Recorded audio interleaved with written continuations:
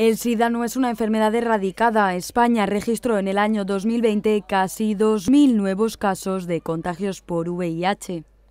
La comunidad valenciana está a la cabeza de España después de Canarias y Baleares. Las instituciones y los colectivos sanitarios recuerdan, las cifras se están reduciendo, pero el problema continúa.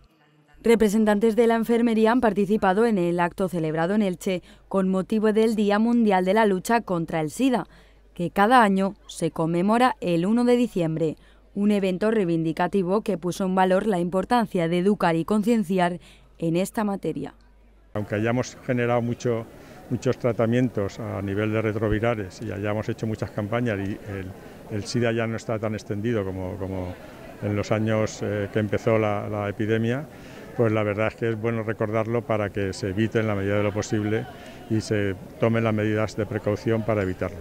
No hay que bajar la guardia, ¿eh? sigue estando presente, sigue habiendo un gran riesgo de contagio y la población más joven ha perdido un poco el respeto a esta amenaza que sigue existiendo. Por tanto, yo creo que desde los hospitales, desde todos los estamentos sanitarios, sociales, políticos, tenemos que seguir insistiendo el trabajo de prevención es clave para reducir las cifras, también para mejorar la calidad de vida de quienes contraen el SIDA. La detección temprana ayuda notablemente al tratamiento de esta enfermedad crónica.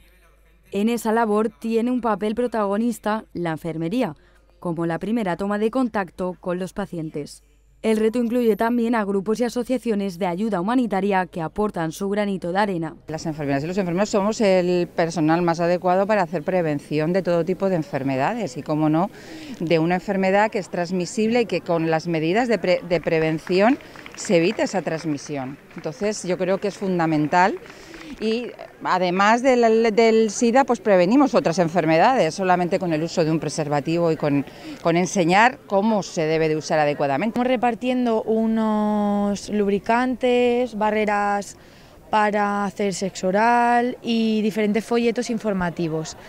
Eh, también hemos preparado unos kits que llevan tres preservativos masculinos, uno femenino, barreras y lubricante y folletos informativos también. Este material junto a la labor educativa y preventiva son valores esenciales para enfrentar la enfermedad que lleva 40 años entre nosotros, desde que en 1981 se diera a conocer el primer caso de SIDA en España.